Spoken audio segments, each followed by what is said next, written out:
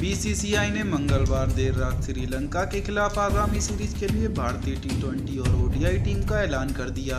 T के लिए जहाँ हार्दिक पांड्या को कप्तान बनाया गया है, वहीं वनडे टीम में रोहित शर्मा कप्तानी में वापसी हुई है। तीन जनवरी से शुरू हो रही तीन टी ट्वेंटी मैचों की सीरीज़ के लिए पंत को टीम में जगह नहीं दी गई।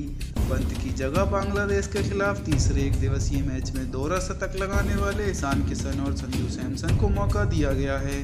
ओपनिंग स्लॉट के लिए सुमन गिल को तरजीह दी गई है। ऐसा माना जा रहा है कि पंत को टीम से बाहर का रास्ता दिखा दिया है, जबकि ऐसा नहीं है। ऋषभ पंत को ऑस्ट्रेलिया के खिलाफ टेस्ट सीरीज़ से पहले स्ट्रेंथ और कंडीशन के लिए एनसीए के पास भेजा गया है।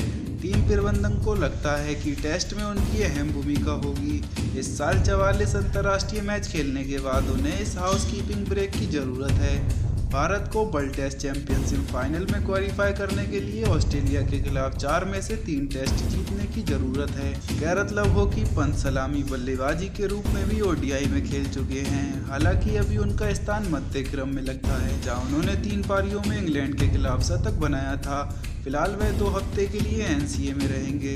ऋषभ पंत साउथ अफ्रीका के खिलाफ कप्तानी भी कर चुके हैं।